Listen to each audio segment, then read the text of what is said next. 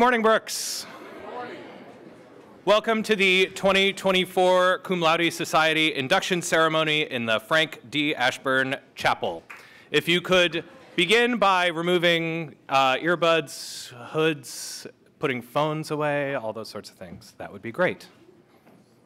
Here in this space on this campus, I'll remind us that at Brooks School, we live and learn on land once of the Pennacook people, and we acknowledge their enduring presence. In 1906, Dr. Abram Harris, director of the Tome School in Port Deposit, Maryland, established the Cum Laude Society to honor scholastic achievement in secondary schools. The society is modeled on the Phi Beta Kappa organization at the collegiate level, and to become eligible for membership, a student's academic record must be of the highest quality, and the way they conduct themselves in our community must reflect well upon the school. This ceremony is a demonstration of our enthusiastic commitment to honor scholastic achievement at Brooks School. And to our guests, whether you are in this room or viewing this ceremony from across the world, we thank you for joining us. We'll begin with a performance of The Old Boatman, originally a piano piece by American composer Florence Price. If you'll permit me a brief moment of music history, the Old Boatman is among a large number of Florence Price's unpublished compositions that were discovered in 2009 in her abandoned former summer home. Price, who was the first African American woman to compose a piece performed by a major American orchestra, died in 1953, and her work lives on through transcriptions and arrangements like this one. Now, under the direction of Dr. D'Angelo, the Brooks Chamber Orchestra.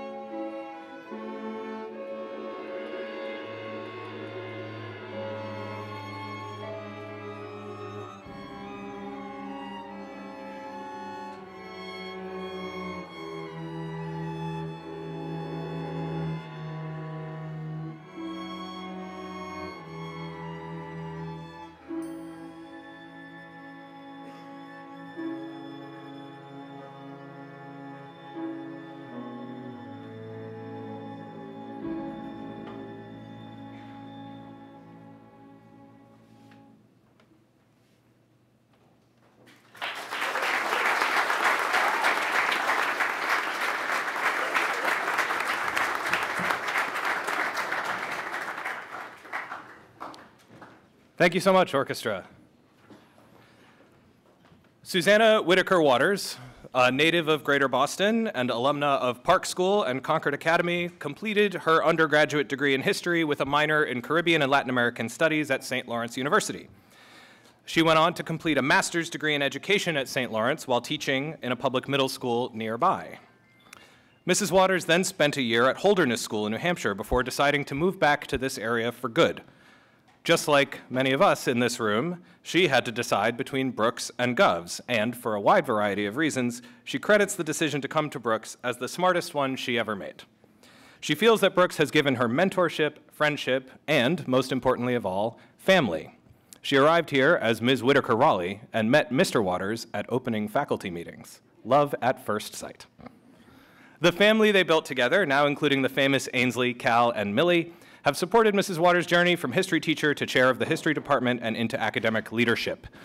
She has coached girls lacrosse and second basketball, dorm parented in Merriman, PBA, and Chase, and advised scores of students. The list of winter term topics she's taught demonstrates her breadth of curiosity, a cultural history of Ireland, the Battle of Gettysburg, U.S. immigration, local indigenous peoples, and the art, science, and business of death. Brooks benefits from her passion for continuous improvement. Mrs. Waters initiated the All Community Read and the creation of the Community Covenant and Community Pledge, and worked to help establish the Davis Fellowship and expand the computer science, sustainability, and students on the forefront programming.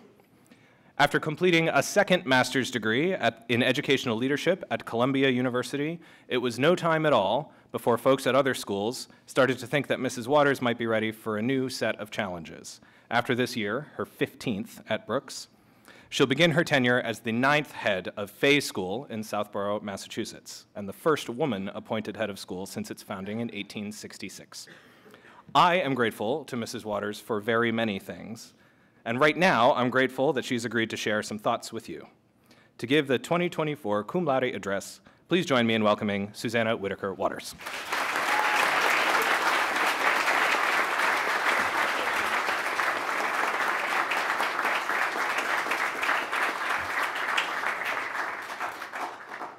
Thank you, Mr. Huntington, and good morning, Brooks School.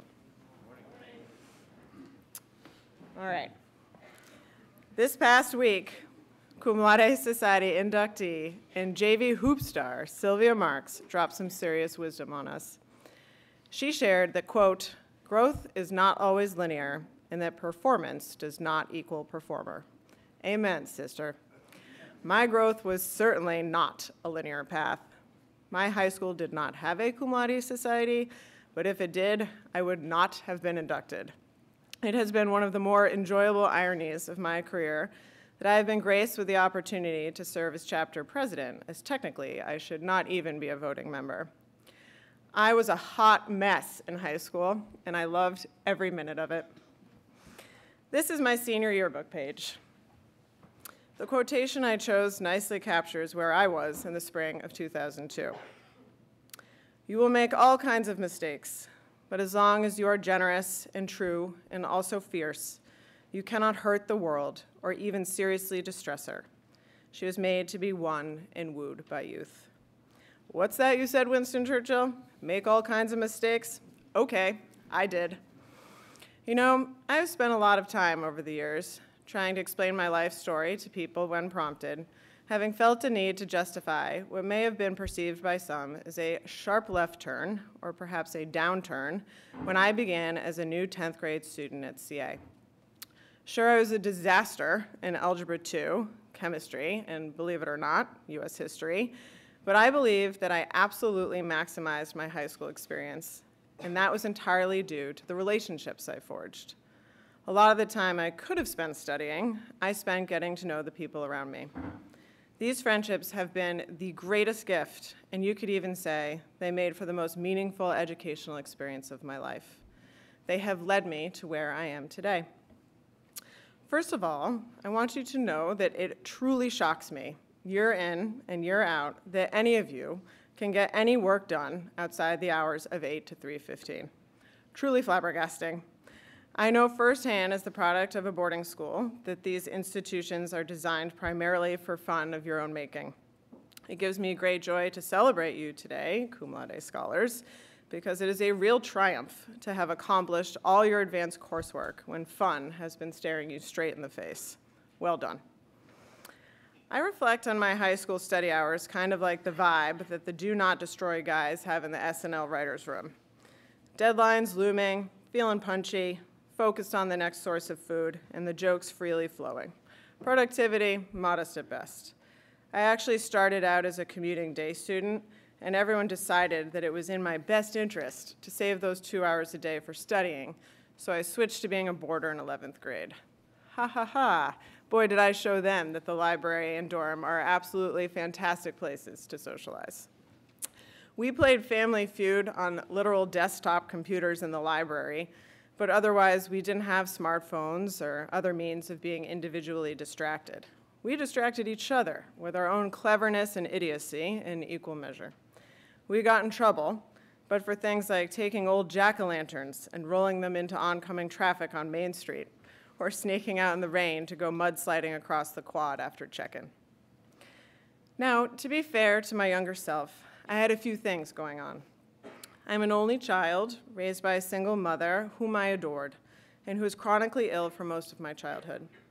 Her illness really accelerated during my high school years. She died the winter of my senior year, and having just turned 18, I became a legally and financially independent adult. So perhaps somewhat understandable that PEMDAS and ionic bonds didn't hold the same relevance for me at that time as they may have for others. But what I was doing, consciously or not, was building myself a community and making friends that became my family. We are born with over 400 predetermined genetic traits. Curiosity has always been one of mine, and comes up without fail in every SIC StrengthsFinder quiz I take. I love learning, and learning about people was my focus. This general inquisitiveness came naturally as I was at a boarding school for the first time. Where was this person from? What was their life story? What did they like to eat? What music did they listen to?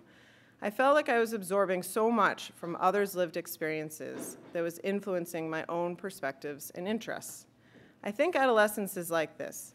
You try things on and see if you want to incorporate them into who you are.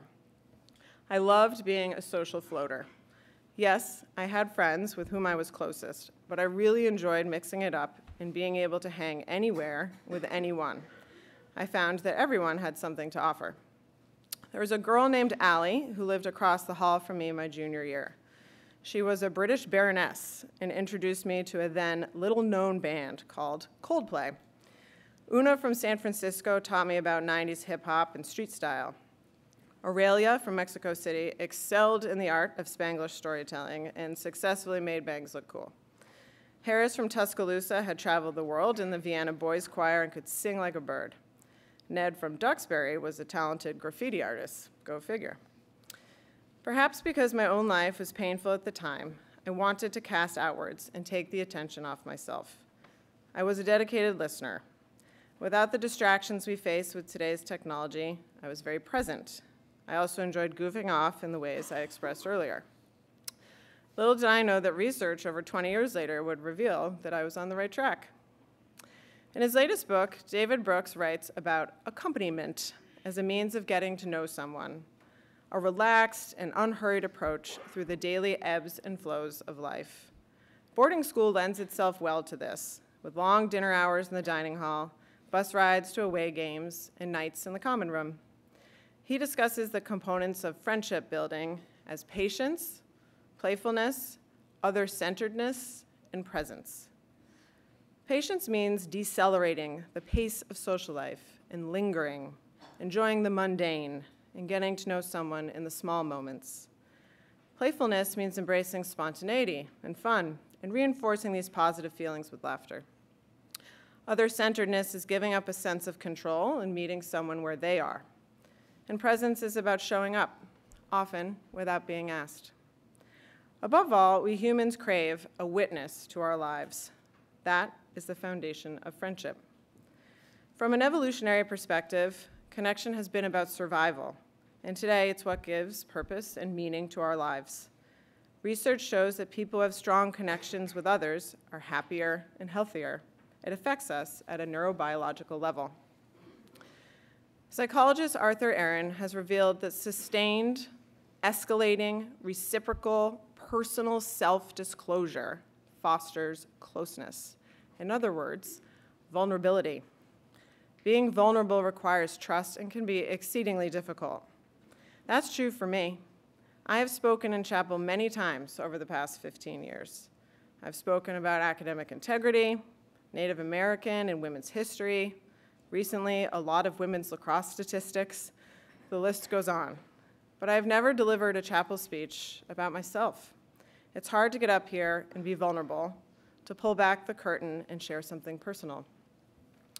Brene Brown has identified that a challenge to this closeness, fostered by vulnerability, is perfectionism.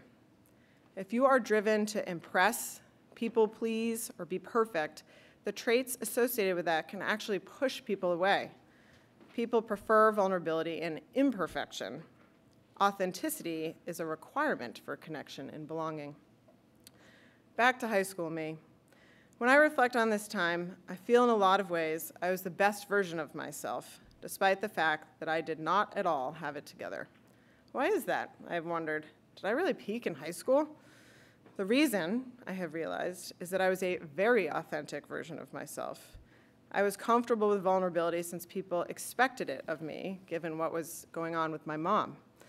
In a sense, I had been given permission to be imperfect, and with the pressure off, I was thriving, maybe not academically, but in my relationships. That was new for me. If you dial back to those 400 predetermined genetic traits I was talking about, an intrinsic drive, we'll call it perfectionism, was another one. Add in my beloved grandfather, Pops, who lived through the Great Depression and served in World War II, telling me that if you're going to do something, do it right. And if at first you don't succeed, try, try again. And I had previously been a one woman, do my best, straight A earning, award pursuing teacher and parent pleasing machine. In high school, when I shifted my focus off myself and how I present to others or earning their approval, I connected more deeply. I focused on my mom and my friends and had an incredible advisor. As Matthias shared recently about Mr. Moshe, my high school advisor was like a father to me. Do not underestimate the importance of a trusted adult in your life. Some funny things happened when I gave up on perfectionism, too. I fell in love. A relationship that lasted four years, but the deep connection and growth that happened over the arc of that relationship and the ones after it helped to prepare me for the defining love of my life with Mr. Waters. I unequivocally believe that your first love is as real and impactful as any other relationship later in life. Enjoy it, sustain and nourish it, and learn from it. As you get older, there's something really special about maintaining friendships with people who knew you when you were a kid.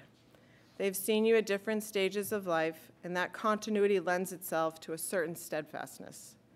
I also find that the social floater friendships I have enjoyed blossomed in unexpected ways. Yes, my three best friends from boarding school served as maids of honor at my wedding, and we just traveled together in January to celebrate our 40th birthdays. However, also fulfilling is that a kid I went to school with, grades 6 through 12, and with whom I was always friendly, but who ran in a different circle, is now a buddy I see a few times a year. He has always remained the same humble goofball he was at age 11. I danced with him at his bar mitzvah in seventh grade, and now he's a speechwriter for Vice President Kamala Harris and gives me tours of the White House. In addition to being a floater, I would also advise you that as you move into the college years and beyond, pay attention to the friends of your friends. I went to St. Lawrence, which was in the middle of nowhere. My buddy Ian from CA went to Skidmore, which was only three hours and 11 minutes from SLU, so we'd visit each other because it was close. He had a group of 10 friends that lived together freshman year and remained tight throughout their four years. They used to show up to the sidelines of my lacrosse games when I played Skidmore, and it was like having 10 brothers there to cheer me on. One amongst them, Reed, moved to Boston after graduation, and we hung out a lot. Fast forward, and he is Cal's godfather, and my kids call him Uncle Reed and his wife Aunt Lindsay because they're a part of our family. In addition to Mr. Waters, their friendship has been the greatest gift of my life. I believe that you choose your family. For the occasion of this cum laude speech, I flipped through my high school yearbook and a classmate had this quotation on their senior page from Ray Bradbury. We cannot tell the precise moment when friendship is formed. As in filling a vessel drop by drop, there is at last a drop which makes it run over. So in a series of kindnesses, there is at last one which makes the heart run over. The people make this place. When you leave Brooks, you will carry them with you. Anthropologist Mary Bateson argues that we often shoehorn our lives into neat, linear stories of decision and then commitment. I decided to become a doctor and pursued my dream. She argues that many lives are not like that. They are nonlinear. They have breaks, discontinuities, and false starts. For example, the first job you take at 22 is not necessarily going to lead in a linear way to what you're going to be doing at 40. The first job I took out of college was at Enterprise Rent-A-Car. This year, I will serve as head of a school. Not to say one's better than the other, but they sure are different.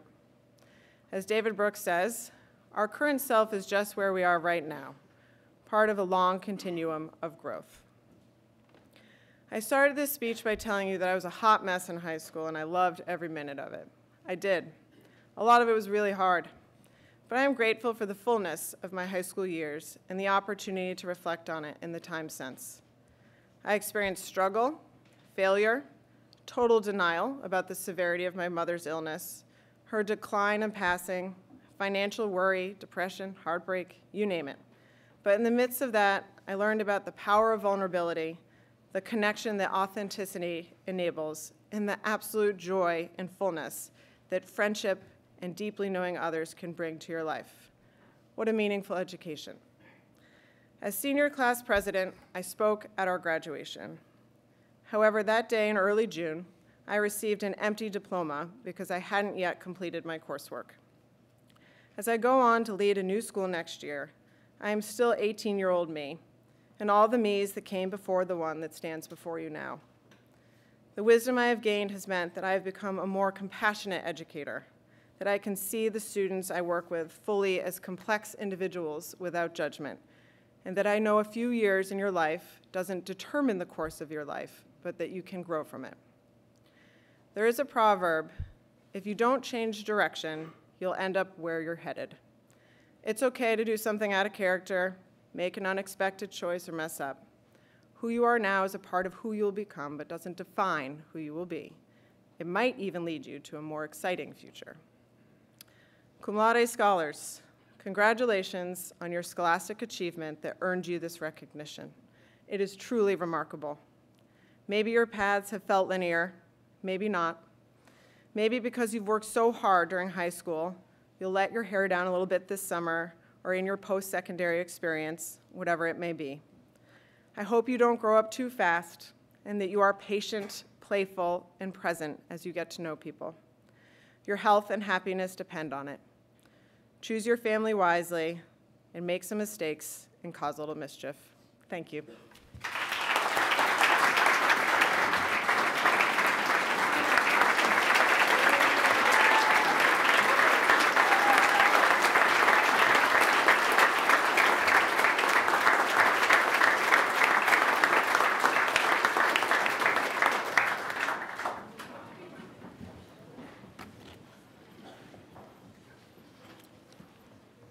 Mrs. Water Mrs. Waters, we are so grateful for how you've made us better over the years, for sharing your story, and for modeling vulnerability.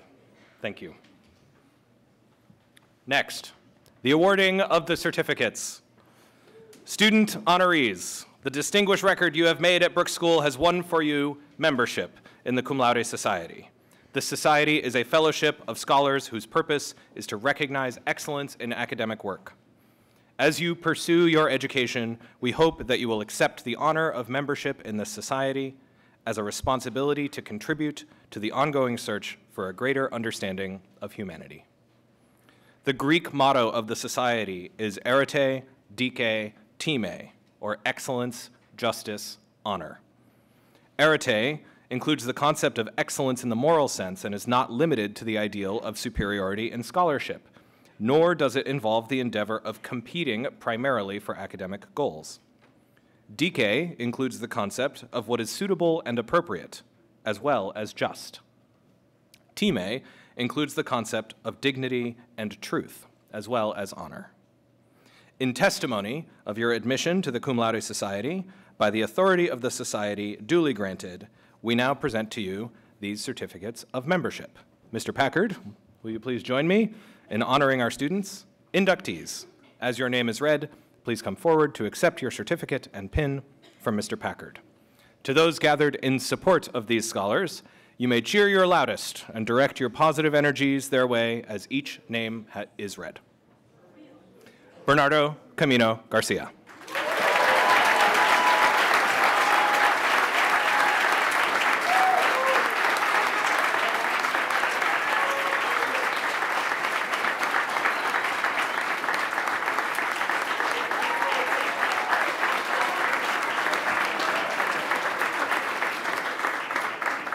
Tessa Catherine Dark.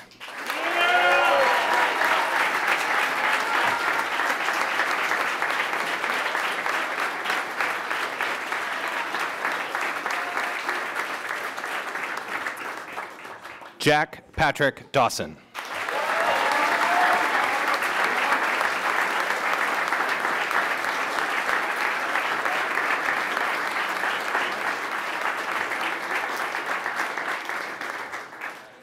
Eben Arthur Dooling.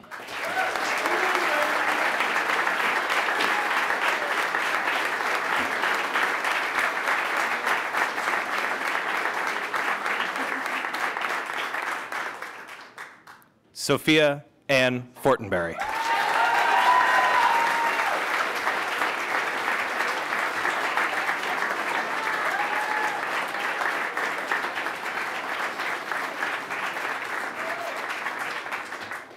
Sanakshi Gosal Gupta.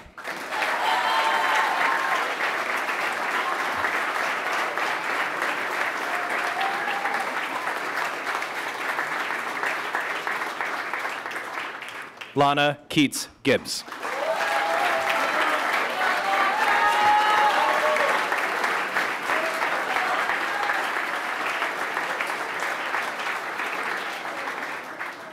Aditya Ashwin Hyundai.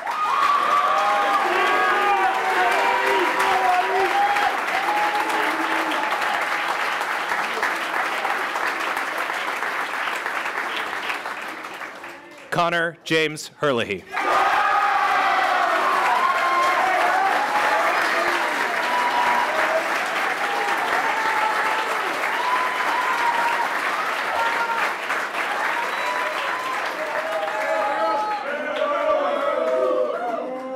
Gushwan Christina Liu.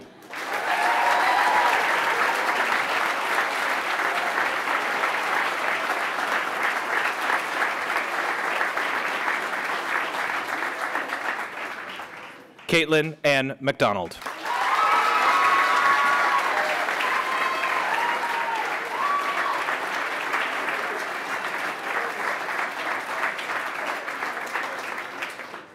Marcello Anthony Maitino.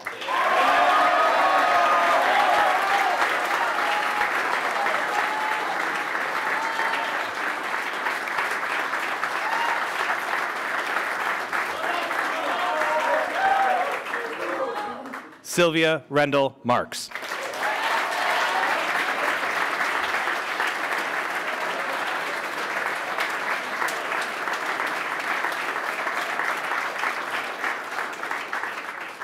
Grant Emery Moore.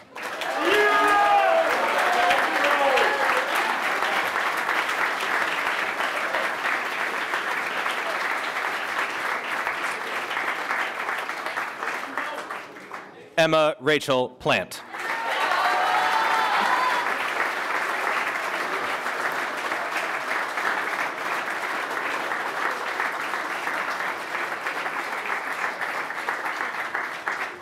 Johan Jasmine Shi.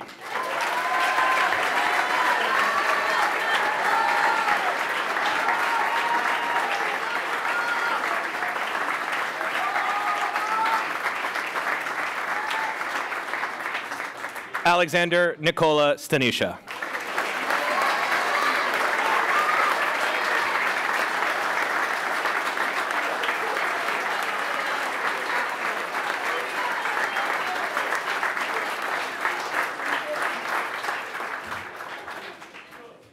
Congratulations, new members of the Cum Laude Society.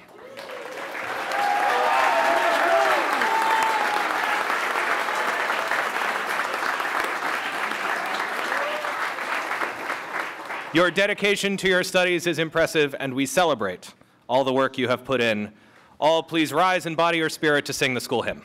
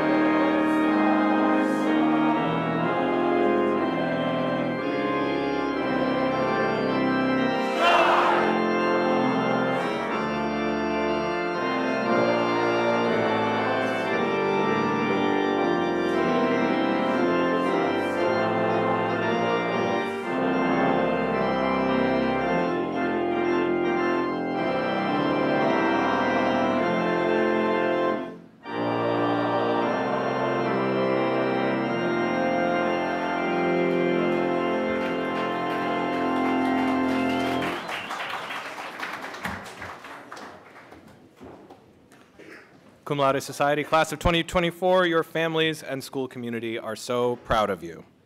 I have a few instructions for everyone before we leave. All cum laude members, their guests, and the faculty are invited to attend a luncheon in their honor immediately following this service in the Keating Room. Everyone else may enjoy lunch as normal in the Wilder Dining Hall.